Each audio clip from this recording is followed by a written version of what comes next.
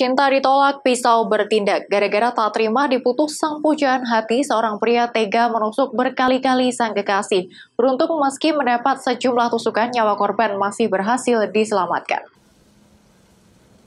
Peristiwa penganiayaan tersebut terjadi di sebuah toko onderdil Jalan Sujono, Kecamatan Sukorejo, Kabupaten Kendal.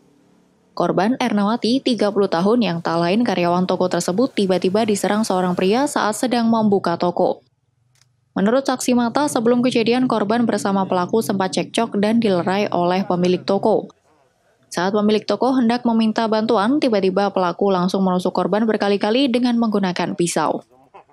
Mengetahui korban bersimbah darah, pelaku langsung kabur meninggalkan korban yang tak berdaya. Lah aku kan di situ loh, aku lihat-lihat orang eh, si korban itu udah penuh darah gitu. Terus orangnya lari langsung, sandal ditinggal, pesonnya juga ditinggal, semuanya udah langsung lari gitu.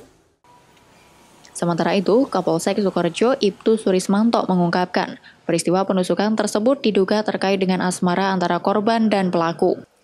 Saat ini polisi masih melakukan pengejaran terhadap pelaku.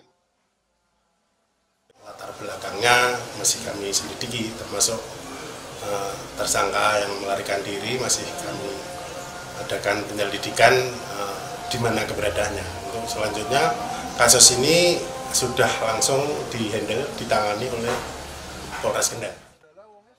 Akibat penganiayaan tersebut, korban dilarikan ke Puskesmas Sukorejo karena mengalami sejumlah luka tusuk di tangan, perut, dan kepala. Meski demikian, kondisi korban berangsur membaik. Kasus penganiayaan ini saat ini masih dalam penyelidikan Satreskrim Polres Kendal dan Polsek Sukorejo. Danang Prakosa, Kompas TV, Kendal.